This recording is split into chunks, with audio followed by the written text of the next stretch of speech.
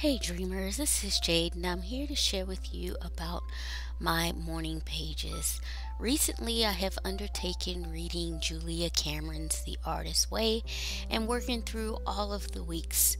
And one of the very first tools that she insists upon are the morning pages. And according to Mrs. Cameron, the morning pages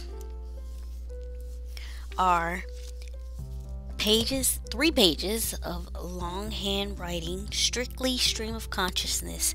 Example Oh God, another morning. I have nothing to say. I need to wash the curtains. Did I get my laundry yesterday? Blah, blah, blah. They might also, more ingloriously, be called brain drain. So basically, you are just dumping whatever it is that is on your mind when you get up in the morning out onto pages. She insists that you do at least three pages. So for me, I've decided to use the Stalogy in A6 size. Out of all the types of journals and sizes, a6 grid will forever be my favorite. So I chose the Stalogy to do those in after I had started in a random notebook that I had gotten from Michaels that I just did not like.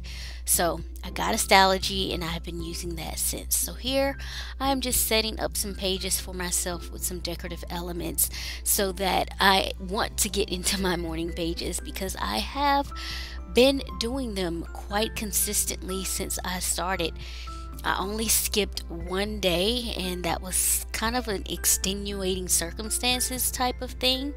Um, and one other day, I cut it just a smidge short. Uh, because I had to get up and get in the car and go to the airport.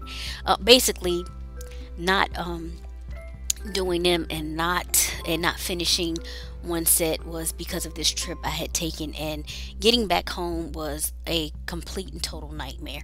But anyway, this decorating my pages allowed me the opportunity to use up some things that I've had in my stash for quite a long time. Those flower stickers that you saw I've had them forever and I was able to kill both packs. Unfortunately, the first one, a lot of the stickers were peeling, so I couldn't use them anyway. But the ones I managed to get off, I did use on my daily pages or to decorate my pages. And here's just an old Jane Davenport rub on pack that I've had for quite a while. And I pretty much use everything up from this. There was one that was kind of ruined, so I wasn't able to use it. But other than that, I get everything down on the pages. And it's funny because a lot of times I'm writing my morning pages and I'm like, is this really doing anything, helping anything, uh, unblocking me creatively or whatever? Is this just um, something that's why am I doing this type of thing? But I find myself drawn back to them each and every morning. It's almost like I have to do them now. I don't know that everyone else will feel that way, but that's how I feel, at least for the moment. Um, so, yeah, I have been enjoying my morning pages and being able to just basically brain dump everything that's going on when I wake up and also um, not be not censoring myself and whatever it is I want to talk about. So this is like a completely uncensored brain dump. So and supposedly it's supposed to unlock you creatively and um, bring forth whatever you have that's in you that just has not wanted to come out.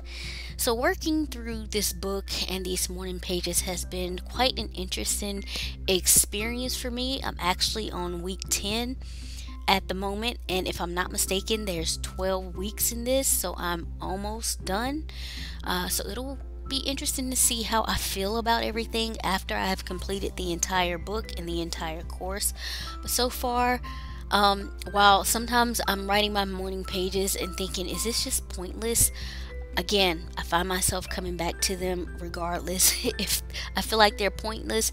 And then sometimes I'm just like, I want to do this. I have to do this. I want to do this. So you may have a variation of emotions if you decide to undertake this thing. Um, and no, you don't have to go through the complete course, to try morning pages, and you can tailor them to how you want to. Some people use composition books, some people use loose leaf paper.